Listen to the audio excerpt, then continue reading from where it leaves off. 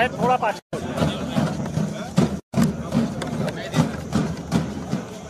આપણે વિદ્યાપોલ ખાતે સાહેબનું સ્વાગત કરીશું. ભારત માતા કી ભારત માતા કી ભારત માતા કી. વંદે વંદે.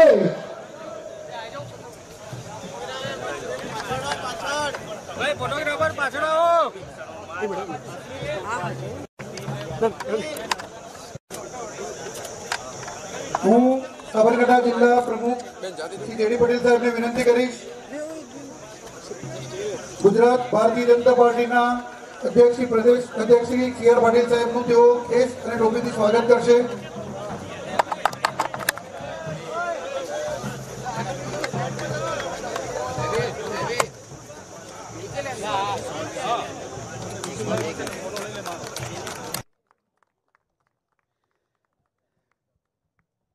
આપણી વચ્ચે ખેડ બ્રહ્માના આદિવાસી આગેવાન, પરંપરાગત તેમના કુળમાં આગેવાની છે એવા આદિવાસી આગેવાન તેમજ ખેડ બ્રહ્માના ધારાસભ્ય શ્રી અશ્વિનભાઈ કોટવાલ ઉપસ્થિત છે. હું પ્રદેશ અધ્યક્ષ સી આર પાટીલ સાહેબને વિનંતી કરીશ કે ખેસ પહેરાવી ભારતીય જનતા પાર્ટીમાં તેઓનું સ્વાગત કરે. ભારત માતા કી, ભારત માતા કી. ભારત માતા કી, ભારત માતા કી.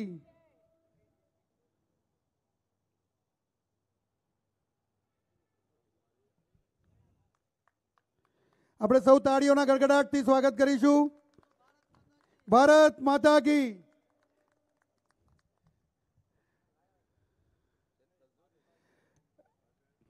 અશ્વિનભાઈ પાટીલ સાહેબને આદરણીય પરંપરાગત પાઘડી પહેરી અને એમનું સ્વાગત કરી રહ્યા છે. આપણે સૌ તાળીઓના ગડગડાટથી વધાવીશું.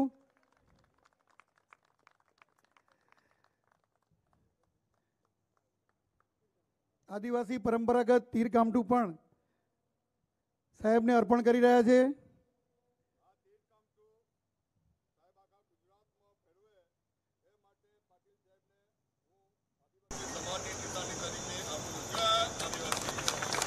અશ્વિનભાઈ કહી રહ્યા છે કે તીર કામઠું પાટીલ સાહેબ આખા ગુજરાતમાં ફેરવે અને આદિવાસી સમાજની નિશાની તરીકે તેઓને અર્પણ કરી રહ્યા છે.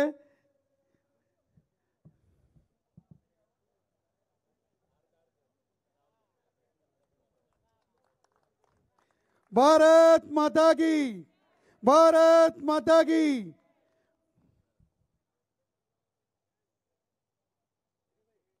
પટેલ સાહેબ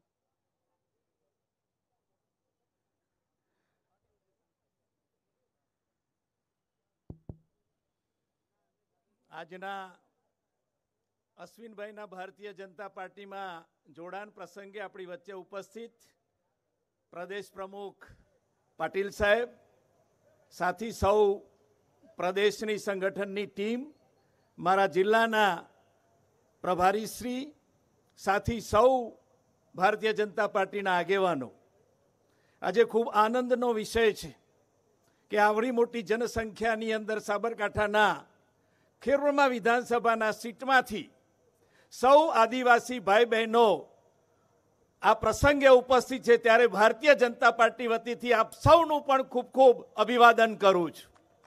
સાથે સાથે આજે અશ્વિનભાઈ વર્ષોથી જેમની વિચારધારા આમ તો ભારતીય જનતા પાર્ટી સાથે રહીતી પણ માન્ય વડાપ્રધાન નરેન્દ્રભાઈના નેતૃત્વમાં ભારતીય જનતા પાર્ટીના સંગઠનના પ્રમુખ પાટીલ સાહેબ અને ચીફ મિનિસ્ટર ભૂપેન્દ્રભાઈની કામગીરીને ધ્યાને લઈ આદિવાસી સમાજનું કલ્યાણ થાય એ માટે આપણા પ્રવાહની અંદર આજે જોડાયા છે ત્યારે સાબરકાંઠા જિલ્લા વતીથી આજે અશ્વિનભાઈનું ખૂબ ખૂબ હૃદયપૂર્વકનું સ્વાગત કરું છું. જય હિન્દ, જય ભારત.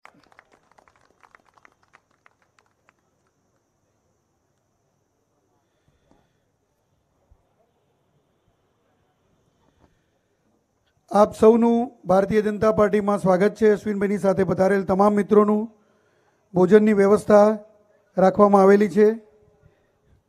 ભારત માતા કી. મીડિયાના મિત્રોને વિનંતી કે આપના વ્યવસ્થા મીડિયા રૂમમાં રાખેલી છે. તો બાઇટ તેમજ પત્રકાર પરિષદ શ્રી અશ્વિનભાઈ પત્રકારોને બાઇટ મીડિયા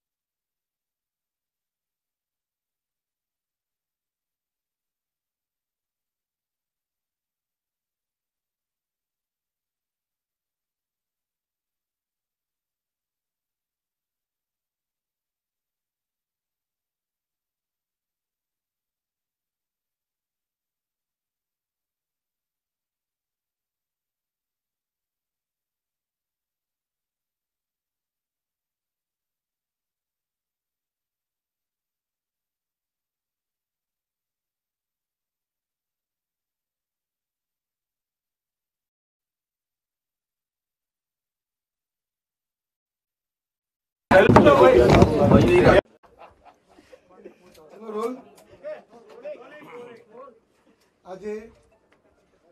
ખેડ ધારાસભ્ય શ્રી અશ્વિનભાઈ કોટવાલ ભારતીય જનતા પાર્ટીમાં પ્રદેશ અધ્યક્ષ સી આર પાટીલ સાહેબના હસ્તે ધારણ કરી જોડાયા છે. હું એમને વિનંતી કરીશ કે પત્રકારશ્રીઓને સંબોધ. હું ઓગણત્રીસ ખેડમાં વિધાનસભા નો ધારાસભ્ય છેલ્લા ત્રણેક વર્ષથી ચૂંટાતો આવ્યો છે. પણ ઘણા સમયથી જે પાર્ટીની અંદર હું કામ કરી રહ્યો હતો, એ પાર્ટીની કામ કરવાની પદ્ધતિ થી હું ખૂબ જ નારાજ હતો. પાર્ટીની અંદર જે આદિવાસી વિસ્તારમાં ખાસ કરીને કામ કરે છે.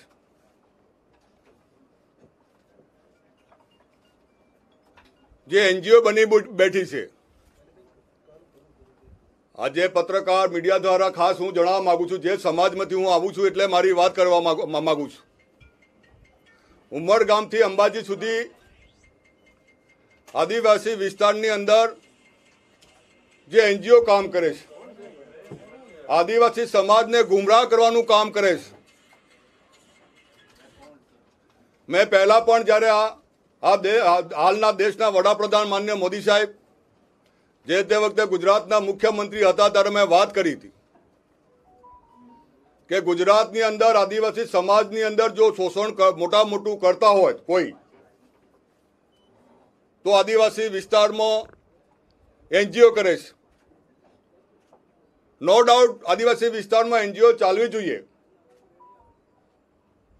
પણ એ આદિવાસી સમાજનો જ વ્યક્તિ, એનજીઓ ચલાવવા વાળો માણસ હોવો જોઈએ. નહીં કે આદિવાસી સમાજની અંદર, આદિવાસી વિસ્તારની અંદર સમાજની સેવા કરવાનો, ઢોંગ કરવાનો. આદિવાસીઓના નામે વિદેશમાંથી પૈસા લઈ આવવાના, યોજનાઓ બનાવવાની. અને આદિવાસીઓને છેતરીને પોતાના ખિસ્સાઓ ભરવાના. આમ આમ જેમ કામ કરી રહ્યા હતા ઘણા લોકો, એનાથી હું સખ્ત નારાજ હતો. જ્યારે શરૂઆતની અંદર બે હજાર સાતની અંદર વિધાનસભાની ચૂંટણી હું લડ્યો. અને જેવી રીતે દેશના વડાપ્રધાન શ્રી નરેન્દ્રભાઈ મોદી સાહેબે ગુજરાતની અંદર કામગીરી કરી, ખાસ કરીને એમને આદિવાસી વિસ્તારની અંદર કામગીરી કરી. આદિવાસી વિસ્તારની અંદર એવું કહેવામાં આવે છે કે આ નરેન્દ્રભાઈ મોદી સાહેબ જ્યારે આરએસએસનું કામ કરતા હતા, સંઘનું કામ કરતા હતા, ત્યારે આ ભારત દેશના ખૂણે ખૂણે કાશ્મીરથી કન્યાકુમારી સુધી ફર્યા. એની સાથે ને સાથે જે આદિવાસી ગુજરાતની અંદર વિસ્તાર ગણવામાં આવે છે ઉમર ગામથી અંબાજી સુધી આદિવાસી સમાજના ઘરે એક ઝૂંપડીએ ઝૂંપડીએ ફર્યા છે. એના ઘેર સુધી એમણે પ્રવાસ કર્યો છે. અને એમણે એમના પ્રવાસ કર્યા પછી રાજકારણમાં આવ્યા પહેલા આદિવાસીની શું પરિસ્થિતિમાં જીવે છે. સરકારો જે ચાલતી હોય કેટલું આદિવાસીઓને નુકસાન કરે છે. આદિવાસીઓની યોજનાનો લાભ મળે છે કે નથી મળતો? આદિવાસીઓના નામે ખાલી યોજના જ બનાવવામાં આવે છે કે શું? એનો અભ્યાસ કર્યા પછી નરેન્દ્રભાઈ મોદી સાહેબે એવી એક નેમ લીધેલી છે. મને બે હજાર સાતની અંદર એમણે વાત કરી હતી. મને એવું કહેતા હતા કે ગુજરાતનો એક એક આદિવાસી ધાબાવાળા મકાનમાં રહેવો જોઈએ. એના મકાનની અંદર એને વીજળીની વ્યવસ્થા મળવી જોઈએ. એના મકાનની અંદર એને પાણીની વ્યવસ્થા મળવી જોઈએ. એના મકાનની અંદર જેટલા માણસો હોય, બે ટકનો એનો પેટનો ખાડો પૂરવો જેવી એવી એક પ્રાર્થના, એવી નેમ આ દેશના વડાપ્રધાન નરેન્દ્રભાઈ મોદી સાહેબે મને બે હજાર સાતમાં કરી હતી. બે હજાર સાતની અંદર પણ ભારતીય જનતા પાર્ટીમાં હું જોડાવાનો હતો. એટલા માટે હું જોડાવાનો હતો ભારતીય જનતા પાર્ટીની અંદર. મોદી સાહેબે મને બોલાયો અને એમને એમ કીધું કે મારે તમને એટલા માટે કહું છું કે આદિવાસી વિસ્તારની અંદર જે કંઈ પ્રશ્નો હોય, મારા અજાણમાં હોય કે સરકારના અજાણમાં હોય, મારે આ કામ કરવા છે અને મેં કીધું કે હું આદિવાસી સમાજમાંથી આવું છું, આદિવાસી વિસ્તારમાંથી આવું છું. અને આદિવાસી વિસ્તારની અંદર આદિવાસી સમાજ કોંગ્રેસ સાથે જોડાયેલા હોય એવું આ એનજીઓ ચલાવતા હોય, બધા કહેતા હોય છે. મને તો હું માનતો નથી. પણ બે હજાર સાતની અંદર મને એક એમને શબ્દ કીધો હતો કે હું તમને એટલા માટે ભારતીય જનતા પાર્ટીમાં આવવા માટેનું આમંત્રણ આપું કે રાજકારણમાં સારા, સ્વચ્છ સમાજની સેવા કરે અને સારી પ્રતિષ્ઠા ધરાવે. એવા વ્યક્તિને મારી ટીમમાં જરૂરિયાત છે, મારા પક્ષની અંદર જરૂરિયાત છે. ત્યારથી હું આ દેશના વડાપ્રધાન નરેન્દ્રભાઈ મોદી સાહેબનો ભક્ત બન્યો હતો. આજે બધાને કહું છું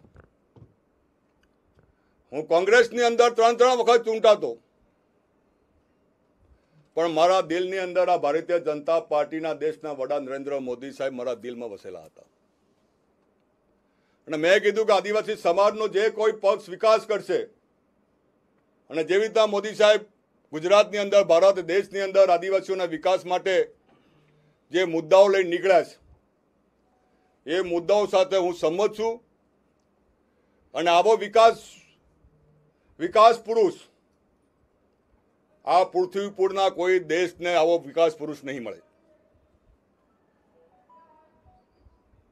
મેં પણ વિચાર્યું છે કે મારા મહેનત વિસ્તારની સાથે ને સાથે હું જે સમાજમાંથી આવું છું, આદિવાસી સમાજમાંથી, આદિવાસી સમાજને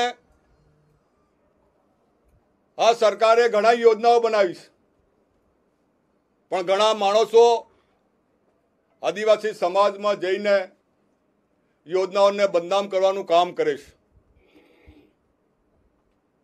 એક જ તમને દાખલો આપું. આદિવાસી સમાજનો વિદ્યાર્થી હોશિયાર હોય, ગુજરાતની નામાંકિત સ્કૂલોમાં ભણી શકતો નહોતો પહેલા. એની આર્થિક પરિસ્થિતિના લીધે. ત્યારે એમને અમદાવાદની મોટી મોટી સ્કૂલો હોય હાઈસ્કૂલો હોય જે આદિવાસી જોઈ ના હોય, ટેલેન્ટ પુલ નામની એક એમને યોજના બનાવી. છ થી દસ ધોરણ છ થી બારમા ધોરણ સુધી વિદ્યાર્થી ભણતો હોય, એના માટે મહિને એસી હજાર એક વિદ્યાર્થી દીઠ કામ ઉઠાવવાનું, કામ એનું, કામ એ કર્યું હોય તો ભારતીય જનતા પાર્ટીની સરકારે કર્યું એવી ઘણી યોજનાઓ છે. કોઈ દિલ્હીનો માણસ આવીને એમ કહેતો હોય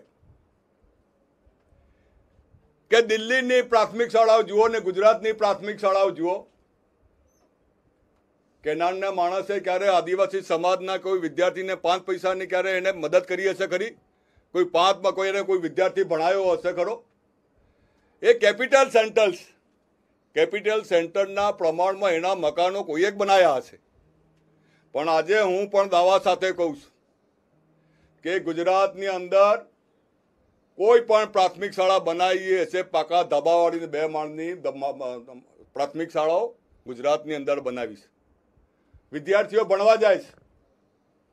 અને દૂર જે પ્રાથમિક શાળા આદિવાસી વિસ્તારમાં હોય છે, ત્યાં ટ્રાન્સપોર્ટેશનની પણ વ્યવસ્થા કરી છે, ત્યાં પણ માણસ વિદ્યાર્થી નદીએ વચ્ચે આવતી હોય, નાળું આવતું હોય, તો ત્યાં પણ વિદ્યાર્થી ભણી શકે, આદિવાસી એના માટે વ્યવસ્થા કરી છે.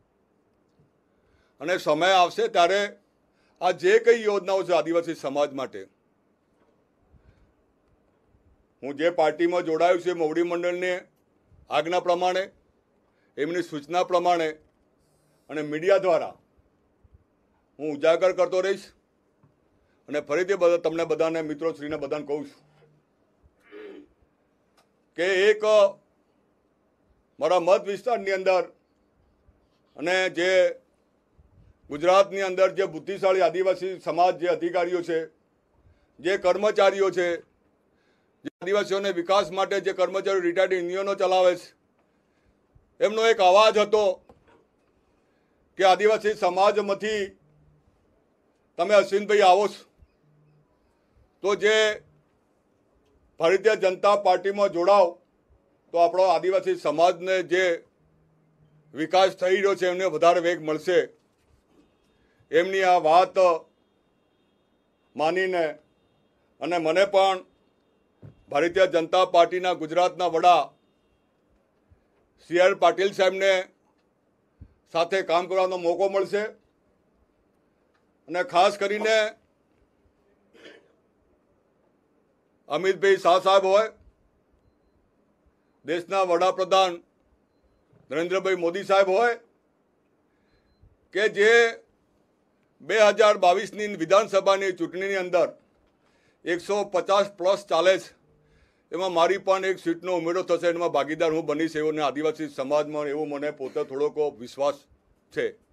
એટલા માટે પણ હું ભારતીય જનતા પાર્ટીમાં જોડાયો છું. અને તમને મને ફરીથી આ મારા જિલ્લાના પ્રમુખ શ્રી જેડી પટેલ સાહેબ, મહામંત્રી શ્રી તેમજ મારા ધારાસભ્ય શ્રી, મારા જિલ્લાના પ્રભારી શ્રીએ મને ભારતીય જનતા પાર્ટીમાં આવવા માટે કમલમ મેં ક્યારેય નહીં જોયું, આજે પહેલી વાર જોયું છે. અને મને આવીને ખૂબ જ આનંદ થયો છે. અને પાર્ટી મને જે કંઈ કામ આપશે આપશે ને હું મારા દિલથી અને ધગજથી કામ કરીશ એને બધાના મોવડીઓને ખાતરી આપું છું. તમે એ જણાવ્યું નથી કે પાર્ટી, કોંગ્રેસ પાર્ટી સામે તમારે? અને એનજીઓ એટલે તમને શું વાંધો છે? એનજીઓ કોંગ્રેસ વાળા ચલાવી રહ્યા છે? શું ઇસ્યુ છે? મેં ક્યારે પણ એવું કીધું નથી કે એનજીઓ ચલાવે છે. જે કોઈ માણસ એનજીઓ ચલાવતા હોય આદિવાસી સમાજને ગુમરાહ કરવાનું કામ કરે છે. એ જે વિષય છે, એ સૌનો વિષય છે. અને તમે આદિવાસી વિસ્તારમાં જઈને પૂછ્યો, દાહોદ જાઓ, છોટાઉદેપુર જાઓ, વહેરા જાઓ, કોઈ ગમે તે જગ્યા જાઓ તો તમને એનજીઓ કોણ ચલાવે છે તમને બધાને ખ્યાલ આવશે.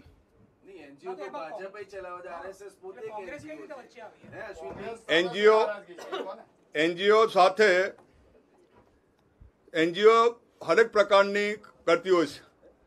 મારો જે એનજીઓ ચલાવે છે જે વિદેશોમાંથી નાણાં લઈને આદિવાસી સમાજના નામે જે ચલાવતા હોય એના સામે મારો વાંધો છે. એનજીઓ બધું જે કામ કરે મેં તમને પહેલા પણ કીધું એક બધો તપાસનો વિષય. ધર્માંતર આ મારો ધર્માંતર ઉપર મારો વિષય નથી. આદિવાસીઓને છેતરવા માટે લોભ લાલચ આપીને જે યોજનાનો લાભ આપવા એના માટે. અશ્વિનભાઈ તમે જ્યાંથી આવો છો ને ત્યાં મધુસૂદનભાઈની એનજીઓ ચાલે છે. તો તમને એમની એનજીઓ સામે વાંધો છે? મધુસૂદન મિસ્ત્રી સાહેબ એ બહુ જ સોનિયા ગાંધીના નજીકમાં છે, રાહુલ ગાંધીના પણ નજીકમાં છે. અને કોંગ્રેસના એક બહુ મોવડી છે. અને આદિવાસી વિસ્તારમાં કામ કરે છે. એટલે કોઈ પણ વ્યક્તિ સાથે મારો વાંધો છે એનજીઓ ચલાવતા હોય. એટલે એમનો એનજીઓની વાત હું કરતો એવું નથી. એનજીઓ બીજી જગ્યા પણ બધી જગ્યા ચાલે છે. મેં તમને કીધું દાહોદમાં ચાલે, બધી જગ્યાએ ચાલે છે, છોટાઉદેપુર ચાલે છે. એટલા માટે એના સામે પણ આ ના થવું જોઈએ. જે વિદેશોમાંથી ગ્રાન્ટ લઈને આવતા હોય અને જુદા જુદા આદિવાસીની સંસ્કૃતોને જે હણવાનું કામ કરતા હોય પોતાનું એનજીઓનું અસ્તિત્વ રહે માટે, એના માટેનો મારો પ્રશ્ન છે. તમે તમે અશ્વિનભાઈ તમે એવું કીધું કે બે હજાર સાતની અંદર તમે નરેન્દ્ર મોદીએ તમને કીધેલું હતું ભાજપમાં સામેલ થવાનું. ત્યારે કેમ ન થયા ને અત્યારે એવું તો શું કારણ થયું તમે બીજું એવું કીધું કે આદિવાસી સમાજનો વિકાસ કરવા માટે તમે જોડાવશો. એટલે તમારો વિકાસ કરવા માટે જોડાવશો કે આદિવાસી સમાજનો વિકાસ કરવા માટે બે હજાર સાતમાં પણ હું જ્યારે ચૂંટાયો હતો ત્યારે હું આદિવાસી તરીકે તમને બધાને કહું છે કે તાલુકા પંચાયતની અંદર મારો દીકરો પણ તાલુકા પંચાયતનો પ્રમુખ રહી ચૂક્યો છે. મારા પિતાશ્રી પણ તાલુકા પંચાયતના પ્રમુખ રહી ચૂક્યા છે. મારા ધર્મપત્ની પણ તાલુકા પંચાયતના પ્રમુખ તરીકે રહી ચૂક્યા છે. પણ જ્યારે સમય આવ્યો છે, આદિવાસી સમાજના નામે જુદા જુદા જ્યારે પક્ષ હોય, આદિવાસી સમાજ જોયો નહીં હોય, બીજા રાજ્યોમાંથી સંમેલનો કરતા હોય આદિવાસીઓને છેતરવાની વાત કરતા હોય એટલા માટે હું અત્યારે આ જે બે હજાર બાવીસની ચૂંટણી આવી છે એના પહેલા આવ્યો છું. અશ્વિનભાઈ, તમે કીધું તમે કીધું કે 150 પ્લસનો બીજેપીનો ટાર્ગેટ પૂરો કરવા હું જોડાયો છું. એટલે તમને assurance આપ્યું કે ટિકિટ ક્યાંથી જશે ભારતીય જનતા પાર્ટીમાં મેં પહેલા પણ કીધું કે હું લોભ લાલચ વગર સેવા કરવા માટે ભારતીય જનતા પાર્ટીમાં આવ્યો છું. આદિવાસી સમાજને અન્યાય નહીં થાય એના માટે આવ્યો છું. ઘણી યોજનાઓ છે હું તમને કહીશ. મા કાર્ડ હોય કેવી રીતના લાભ મળે ઘણી યોજનાઓ કાઢીશ. એની વાત જંગ હું વાત કહીશ તો લાંબી થશે. જે કઈ માણસે મને તમને કહું. છે? મેં તમને પહેલા કીધું કોઈ કહે છે ટિકિટનું કમિટમેન્ટ આપવા આપવામાં આવ્યું છે કોઈ પ્રધાન બનાવવાનું કમિટમેન્ટ આપવામાં આવ્યું છે. મેં પહેલા પણ કીધું ભારતીય જનતા પાર્ટી ગુજરાતના પ્રદેશ પ્રમુખ પાટીલ સાહેબ મને જે પણ સંગઠનનું કામ આપશે એ કામ બંધાવવા માટે અને ભાજપના સૈનિક બનવા માટે હું ભારતીય જનતા પાર્ટીમાં જોડાઉં છું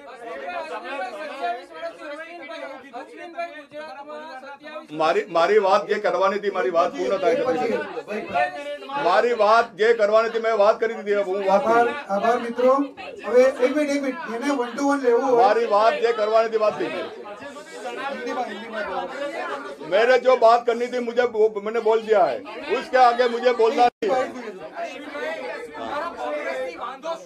मैं મારી જે વાત કરી હતી મેં મીડિયામાં વાત કરી દીધી આના પહેલા પણ વાત કરી દીધી છે મારી વાત તો સાંભળો મારે જો મારે મીડિયામાં મારે મીડિયાની અંદર હિંમતનગરથી હું નીકળ્યો. તારા બધા ચેનલોનો માણસો મારે જે જે ચેનલોના જે હતા એમના જોડે મેં મેં વાત કરી દીધી છે. અને કોઈ ચેનલ વાળા નહીં આવીને વગરની વાત અમે કરી હા.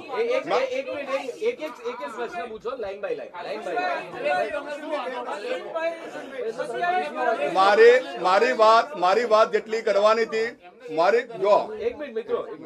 મારી જે વાત કરવાની હતી એ મારી મેં જે મર્યાદા મારી મેં વાત કરી દીધી છે ફરીથી પાછા બધી મારી જે વાત કરવાની છે આજે જે પૂર્ણ થતું નથી બીજી વાત તમને ફરીથી જ્યારે મળીશું ત્યારે કરીશું. આભાર. જય હિન્દ.